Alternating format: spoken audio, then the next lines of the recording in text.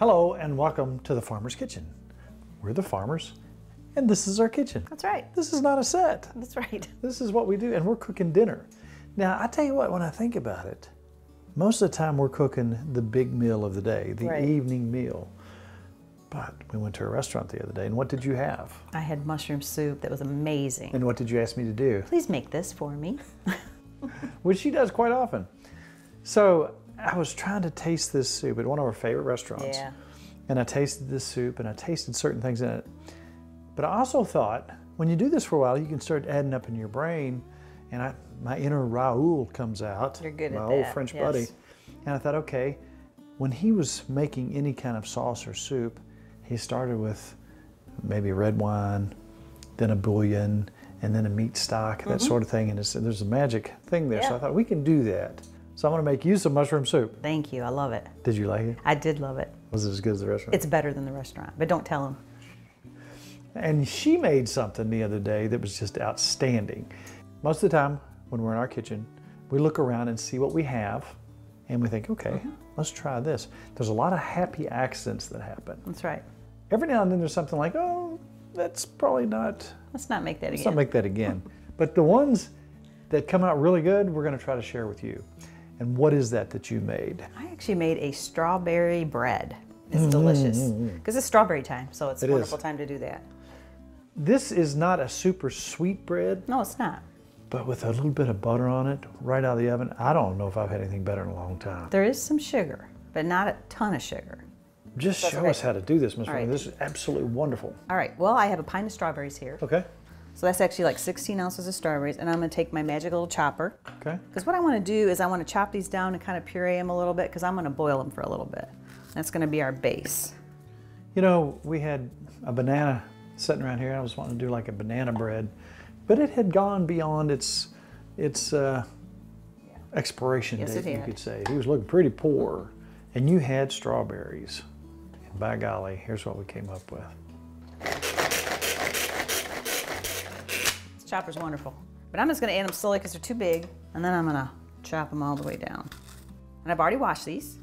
Now, something else um, that happens if you're not a member of a CSA in this great United States of ours, check around you. I bet you somebody's got a way that you can get fresh vegetables if you don't grow them yourself. We like to grow some yeah. stuff, but a lot of stuff we get from our CSA, community supported agriculture. Could chop these by hand or use a blender. Sure. But you know I love my little chopper. You can use a uh, potato masher. Yes, you could. All right. Now I'm going to take these, and I'm going to get them all in there. And if you will go ahead and we'll get those going. And I just want to bring these to a boil on like a medium heat. Once they boil, we'll give it one minute. Really, no sugar, no nothing. No, nothing of this. And then we're going to take them off and we're going to chill them Interesting. while we make the rest of our bread. It's boiling. And that's it. We've kind of boiled them, kind of got them to come together a little bit. And we're going to go ahead and just put it in a different container. And we're going to stick this in the fridge while we get the rest of that bread ready. All right, what's next? See, it's almost two cups still. Gotcha. Let's put, let's put it in this pan because we're going to stick it in the fridge while we make the rest of this. Just chill it for a little We're bit. to chill it while we make the rest of our bread. Our next thing is we have some flour. I have one and three quarters a cup of flour here. Gotcha. And I've already pre-mixed my one teaspoon of baking soda, quarter teaspoon of baking powder, and three quarter teaspoons of salt. Spice, I got pumpkin pie spice, or you could use cinnamon. So I, I like the pumpkin pie. Pumpkin pie yeah, spice. I'm just gonna do half a teaspoon of that. Say pie. Pie. Pumpkin, say it like pumpkin pie. said. Say what? Pumpkin pie. Pie. Pie. Pumpkin pie. Pie and Yes. pie. That's not very nice. But that's it. That's our powder mixture. So now, if you'll be my helper with the mixer, All right.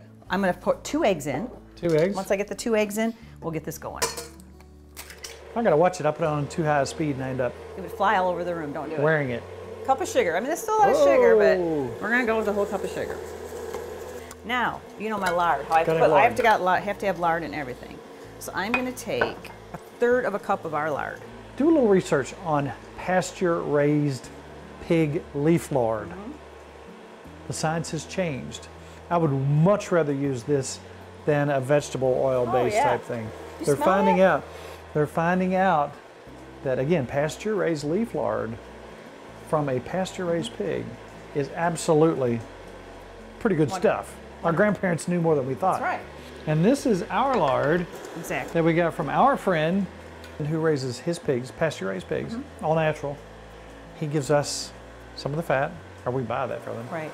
We bring them to the crock pots, we reduce it Mm-hmm. ourselves, and it's just absolutely wonderful. And I've gone through a couple jars already because You I love this so much. All right, So this is mixing up. That's mixing up. All right, now we're going to do, I actually have a half a cup of heavy whipping cream here. All right, let me pour it in. We're going to do back and forth, though, watch. Oh, gotcha. So now I got my powder mixture. I jumped the gun. Yeah, so you'll be in charge of the powder. You just put a little bit So in. pour this We're to go back and forth, just a little bit. Put about a third of that in, and I'll put a little of mine in. A little yours, and I'll do a little of mine. We're going to go back and forth. Do we get it all in Here's what I'm going to be wearing this. All right, go ahead and turn that off for a minute. All right. I'm going to grab my strawberries. Ooh, it already smells good. All right, if you want to turn it back on, Okay. I'm going to slowly add back my strawberries. And this turned out a lovely dark color. Yes, it did. Go ahead and give that a good mix if you want.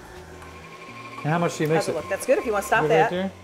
Now the last ingredient, pecans. Pecans. I got like a You little over chop them? Yes, half a cup. And we're gonna chop those up.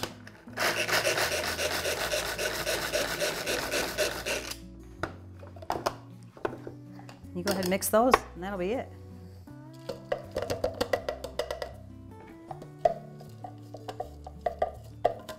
No wonder this was so good. I didn't want you to make that. What do you Put it in a loaf pan and go. Mm-hmm. What temperature? I think that's good. We're gonna put 350. I already have the oven going for one hour.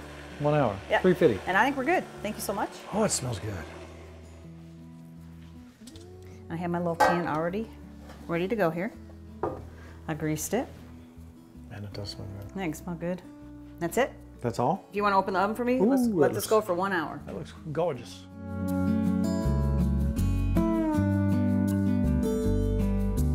Tell you what, let's get this cleaned up, and then I'm gonna start the soup. Yay. You know what? I just thought of something. Normally, when you watch this show, it's a very meat and potatoes type of show, and uh, it's kind of a, well, we're kind of in the South. Right. There's a lot of stuff that's kind of, uh, some people consider heavy. Do you realize this is a soup and salad show and bread? Mhm. It's not terrible, right? It's not terrible. It's pretty healthy. It's good. It's healthy. All right, let's get this cleaned up in mushroom soup.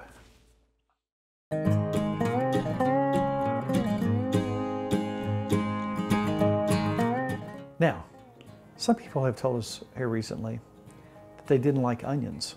Hmm.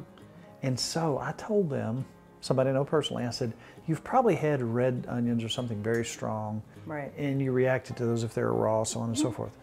You get a yellow sweet onion or a Vidalia onion, the sugar in these things is outstanding. It is. The flavor profile is so different from anything you could imagine with the red onion. So for those out there who think they don't like onions or think they don't like mushrooms, I think this would be the entry level dish for you to rediscover I think you're right. your taste buds. Good idea. Nicki loves, dare I say, really loves mushroom soup. I do. I like mushroom anything, but mushroom soup's one of my true. favorites. My old buddy Raul, he always said, trust your senses, trust your olfactories. So we came home and I started being the mad scientist. You did. So let's start this recipe. You know what? I'm gonna let you do that for me if you will. I'm gonna go ahead and put a little butter in here. So many recipes you have seen us begin with butter and onions. And again, those sweet yellow onions, they add something that's almost indescribable. So that's where we're beginning. I'm gonna take some baby portobello mushrooms. I'm just gonna cut those up into manageable sized pieces. And I'm gonna saute those with the onions. Nick, if you don't mind, would you pop those onions on over here and let them get, I will. let them start to get going? Do you want all of this or just a little bit? What do you think? Oh, let's use most of it. All right. Now that's half of a very large sweet onion. I was never a big mushroom fan until later in life. And now that I've rediscovered them, I could eat them. I could live on them. Me too. We took a walk around the farm today, hoping to find some different mushrooms. And we looked and we looked, and that's all we came up with today, Right at the end. right at the end. And these are a type of coral fungus. And you can see why. They really look like a They do. a piece of coral out of the ocean. We've found a chicken of the wood. We have found a puffball. And Rick down the road, we found morels on his place. And on Kelly's place, we found a pheasant back mushroom. All of which we have consumed on the show. So we're going to get our onions going pretty good here. You know what? Let's measure the mushrooms. See how much we have here. There's more there than I thought. How many cups is that measuring? That's four cups. This is about four and a half cups. So one more thing that I'm going to do here real quick like is I'm going to cut me some fennel out of this bulb. Now tell me what this smells like to you, if you will. Why can't I say what, what is it? A little anise Yeah, flavor? anise. Yeah, that's what it is. It's like, licorice. And it really adds a subtle, interesting flavor to this. And I'm just going to go ahead and cut this up. I'm going to throw this in with the onions. It's not a real obvious flavor that you pick out, but it really does. It's one of these things here, you know, a lot of times you don't want to add too many flavors, but these flavors all together, I just got to say, It's good. Are not too shabby. It does smell like it's like licorice. Mm-hmm. For those who don't like licorice, you would not mind not this. all. You would not mind this at all. So I'm going to go ahead and drop this in. Those are browning up. I'm going to turn it down just a little bit. I'm going to pop these in. Pop some fennel in here. You know, there are some real mushroom experts out there. I know most of the basic groups, but sometimes I will send some of my stuff. And this is a private Facebook page, but I think they'd probably let you on if you asked. It's called Official Kentucky Mushrooms. Oh, really? And I talked to some guys over there, and I thought this was one thing, and they kind of steered me in the right direction. But one thing about mushrooms do not assume. We can take that a step further, but we won't. Right. Do not assume on your mushrooms. Know for sure. It's up to you. It's not up to me. I can't look at your mushrooms. If you put them in your body, then you're responsible for what happens. And we know what these are I got them at the store. baby bellas. So what I'm going to do is I'm just going to keep turning these around until they get a nice little brown. And I want all these flavors to absorb together. I'm going to put a little bit of salt in here. And I usually use kosher salt.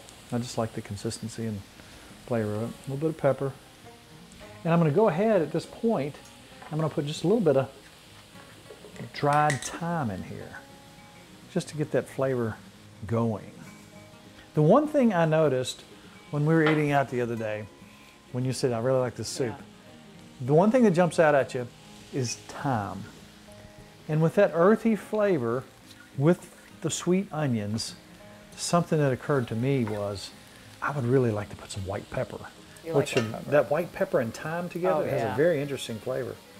And as it go along, as you go along here, if you need a little more butter in here, pop it in. I don't want to go too heavy on the salt or too heavy on the pepper, but pepper really adds. We like pepper in our soup. You know that reminds me? We haven't seen him for a while, but Glenn, the pepper bandit, you know, he was in pepper prison Really? for a long time. Well, he went to the post office. He was trying to send that pure Peruvian pepper, Really? which is illegal Oh, yeah. to ship. Yeah. Remember that camel he had a I do while remember back? his camel. He's still got the camel. He rode over here. He came through around the field. So You the saw him? Yeah. No, well, no, I got him on camera. Okay. Look, I'll show you some footage. Okay. Here's him coming around the camera, coming around the field, trying to get around the dogs. Snuck through the back door Really? when we were up looking for mushrooms and stole our cherry cherry pepper. You are kidding me. So I kind of I hated to do it, but I called the pepper police. Did you? Last time I heard he was in Paducah peddling pepper Really? on his way to Peoria. Wow. Don't know, but uh, Wow. I'm, I'm just saying. That's a crazy You know how he is. He's out of control. And you know what? I hate to say this, but sometimes he has an accomplice. And the thing is, we've never seen her face, but they have recorded messages. Her name's Patricia, the pepper pusher. That's what they call her. Really? Patricia, the pepper pusher. He has an accomplice then. I didn't Has an accomplice. Wow. yeah. You remember um, when we first got to know them, we were on the Alaskan cruise, on the Country Kitchen Alaska right. cruise. And we thought he was so nice, and He she was so, sweet. nice. Yeah. And he is. He's just got a pepper problem. Yes, he does. And at this point, I'm going to take a little bit of white wine and I'm just going to deglaze. And I'm going to just reduce that down because that flavor is really going to come in nice there.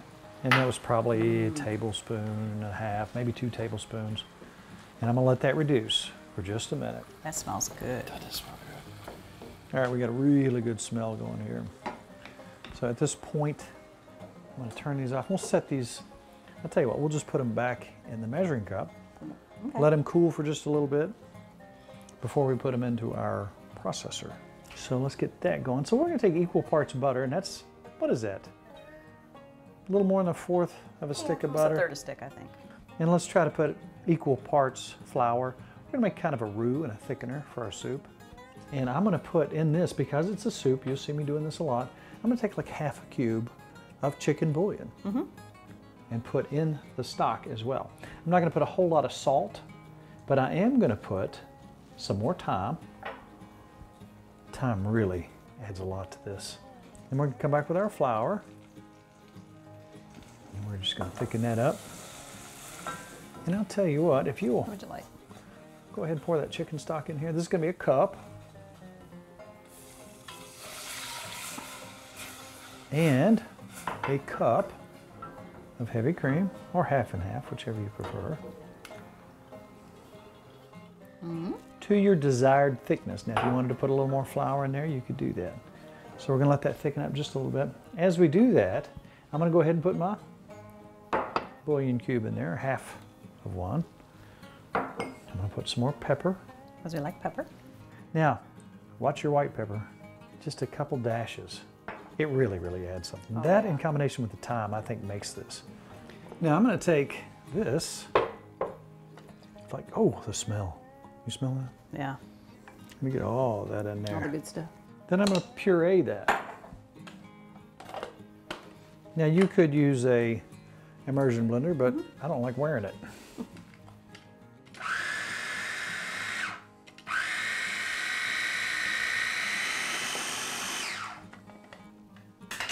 What do you think? It looks Is yum. that to your liking? I think so. Okay, at this point we're gonna add our mushrooms. Man, oh man. Now there was one point in time when I would, would not consider eating this.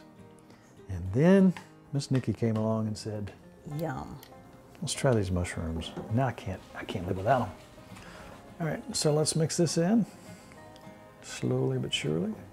Would you mind running out while I'm stirring this to get me some fresh thyme? I will. I got a little garden Just a out there. couple sprigs. All right, a couple and it'll be sprigs. I will do it. I would so appreciate it. Then there's one more thing, and I'm telling you, when all these flavors combine, Mm-hmm. it kind of turns magic. So, we recently bought some smoked white cheddar cheese, and it's ended up in a lot of things, but I don't know if it ended up any better in anything than this right here. And just go ahead and grate as much as. You that as you want. We're almost ready. I tell you what, let's do. Let's do a little more cheese right on top Okay. for the final presentation. A little cracked pepper, a couple of mushrooms, a sprig of thyme, and look what we have. Beautiful. Look what we have. The bread needs to come out. Can we do that? That was good timing. That was really Perfect good timing. timing. yeah. That's right. And it is perfect. Yum. Wow, that looks really good. What would Sammy say? Sammy would say yum papa. I think he'd say yummy grandma. Would he? It's always yum papa. What do you mean? All right, now I want you to try that soup. Okay. I want to make sure it's up to your standard. Because I see gooey Some cheese, on there cheese. too. Does it work? I could eat all that. What are you gonna eat? Uh, you know what? I need a spoon. You did good.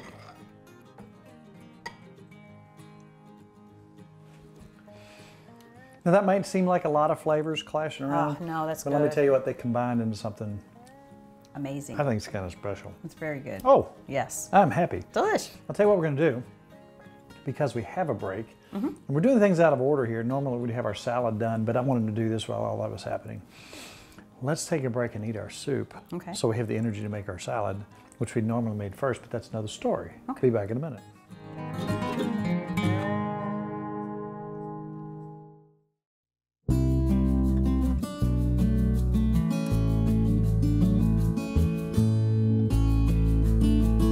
So not too long ago, went to another restaurant, and we were eating with our friend Lisa. Mm-hmm. And Lisa's been on the show. She tried some fish. She doesn't like fish, but she liked our fish. She did. We had a salad with them, Mm-hmm. and she liked it a lot. And she likes pickled beets, which we have pickled beets right there. She was having some friends over, and she said, "Tim, how would you make that salad?" She put me on the spot. So I thought, okay. So I started trying to analyze it in my mind. So I thought, I think that was a fig, some type of a fig glaze or something like that. And I knew there was probably olive oil in it. Mm-hmm. So there's your sweet and there's your oil. Now you need a little bit of tang. So I thought maybe a little red wine vinegar. And this was a really sweet salad. It was really good. And I thought maybe just a little bit of honey. And then there was just some salt in there. So you got to get all the all Right. the savory stuff going on. So I thought, okay, I'm going to put just a little bit of Greek seasoning in there, and that would take care of the salt and the pepper and Right. some other things.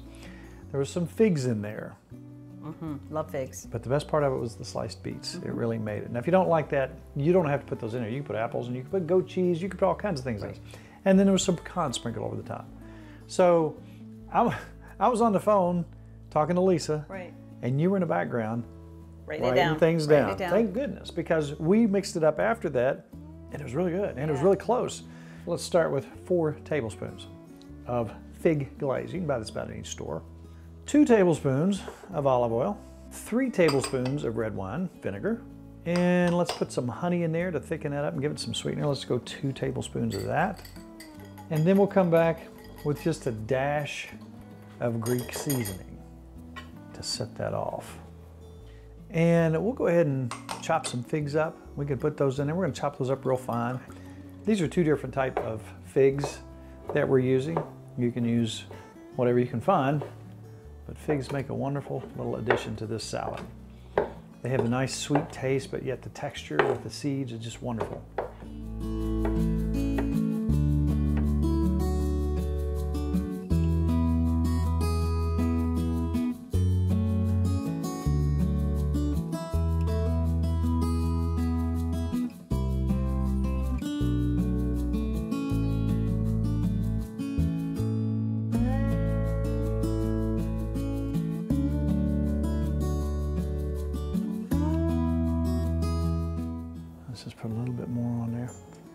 Tell you what, if you wanted, if you wanted to take and saute some shallots Oh, in good. grease, put in there. But go ahead, Miss Farm, why don't you try right. that and see what you think. Me get hold of a beet here. Now, this is a little bit sweeter presentation, but oh, it really matches that with the nuts and the beets. Mm. You like it? Mm-hmm. Can you dig it? And the figs. That dressing is so good. It's almost like dessert, isn't it? It is. That's great with spinach too. I like that. Wow. That's good salad. That'll work. That will. With some soup. Soup. We've already tried that. I'm coming back to that. You try the With bread? the bread. Do you mind? Go ahead. I didn't even butter it. It's so good. Let me break a little piece Mm. up. That is good, isn't it? Mmm. Wow. That's our dessert. You bite into that, and your brain's trying to turn it into banana bread. Mm-hmm. It thinks, wait a minute. There's beautiful, wonderful strawberries yeah. in here. That's good. Look at the color of that. That's fantastic. Glad you like it. I like it better than banana bread. Or zucchini bread. It's kind of got both. Taste of both. It's really good. Fantastic. Ms. Farmer, hard to believe, but our half hour is about up. That's right. That being said, a lot of times I don't write recipes down, but you and Kelly make me write stuff down. Once we write it down, where do you find it? I go to timfarmerscountrykitchen.com. And we have a Facebook page with a lot of friends on there. We mm-hmm. talk about stuff, we share recipes, we have fun, but it's so difficult. How do you get on that Facebook page? You hit like. You do not. Yes, you do. That's all there is to it. Our half hour is up, but there's one thing I really need to say. What is that? It's all about Good times? good friends. Good eats. Let's eat. I'm going to eat this soup. You know what? I want some of that too. And we'll see you next week, right here from the Farmer's Kitchen. Yay.